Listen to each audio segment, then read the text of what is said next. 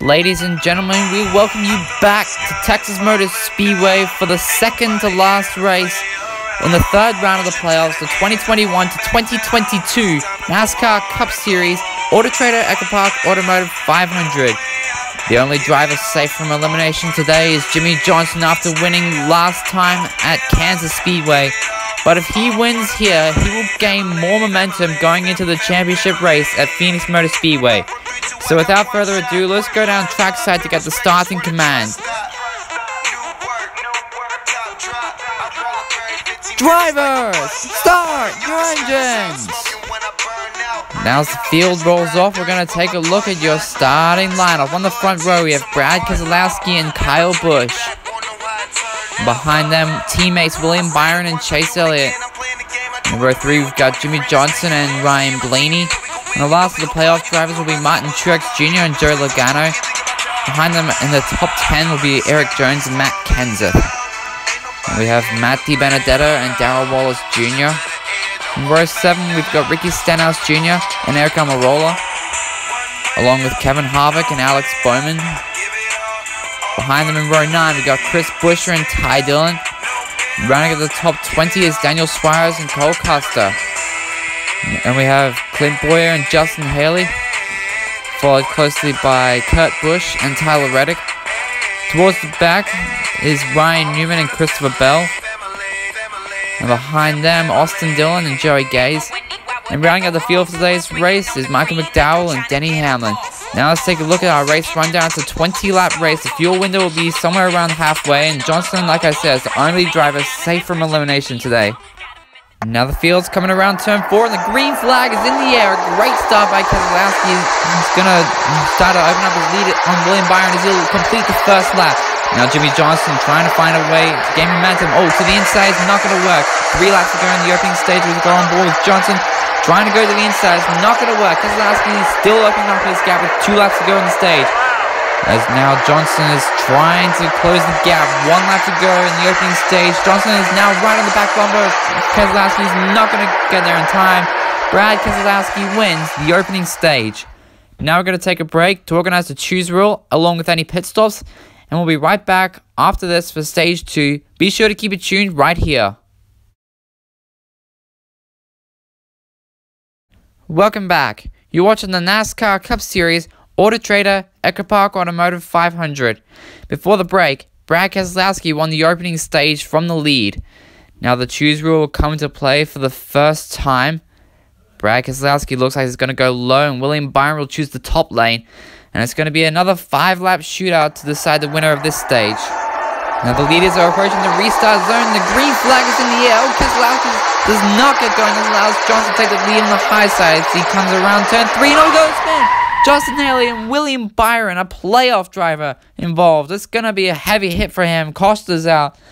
Here's a slow motion replay. Not sure. Looks like Haley got out of line and Byron looks like he had nowhere to go. This is going to be a hard hit for the 24 team in the points. He may be in danger of elimination. He's going to have to win to get in at Martinsville.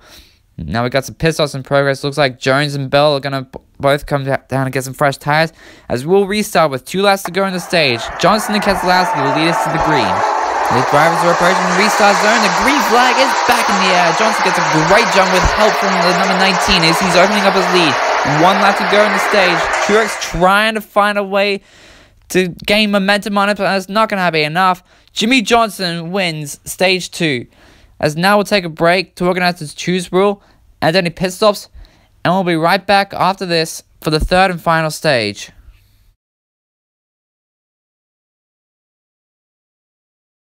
You're watching the NASCAR Cup Series Autotrader Automotive 500.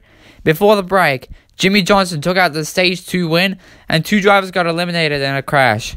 Now the choose will come into play once again. Looks like Johnson's going to choose the bottom lane, and Keselowski will go up top. As now we take a look at your drivers to watch for with only 7 laps to go.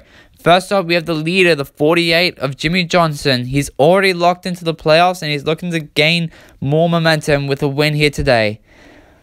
And up we then we have Martin Truex Jr. in the 19. He hasn't won since Bristol and he's in danger of elimination. He needs a win to relieve the pressure. He's currently second. And we have Brad Keselowski, won the first playoff race. He's hoping to get it done again here today. He's currently fourth.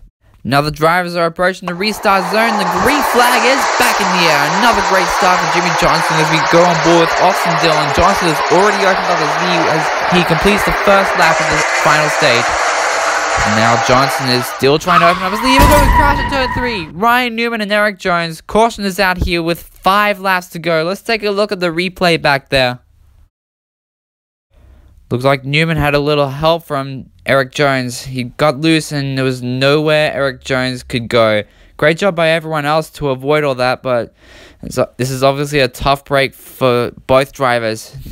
Now the choose will come into play for what could be the final time. Johnson will go low and Austin Dillon is going to choose the top lane as we'll restart with three laps to go.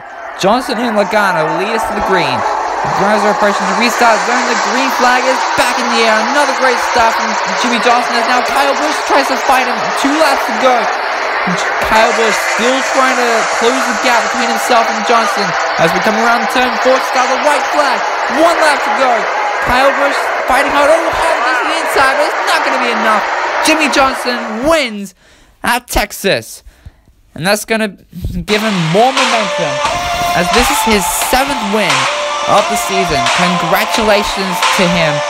Now let's take a look at our overall race results. Great job by Kevin Harvick to finish second. He obviously wasn't having a good season from uh, when in Indianapolis, but he's definitely improving. But Kyle Busch comes from third, Keselowski eighth, Truex ninth, and here's some more playoff drivers. Blaney, Logano, Elliott, 11th, 12th, and 13th in that order. Denny Hamlin has a decent day, comes home 16th. As Christopher Bell finishes 18th. And now William Byron here is definitely going to be outside the cutoff, but how far out he'll reveal in a moment. A great finish by Matt Kenseth. He comes around 21st, and here is the cutoff. As of now, it will be Johnson, Kyle Busch, Blaney, and Elliott going to the championship. As for everyone else, they'll have to win it at Martinsville, or they're not going to the championship race. We still have one more. So thank you everyone for watching. I hope you all enjoyed. Congratulations again to Jimmie Johnson. The penultimate race from Martinsville will be coming very, very soon. Be sure to leave a like, subscribe, and smash the like button. Because you're not going to want to miss a single lap of Hot Wheels Cup Series racing action. And until next time, stay safe. I'm Arctic Fox, and I'll see you at the finish line. Stay frosty.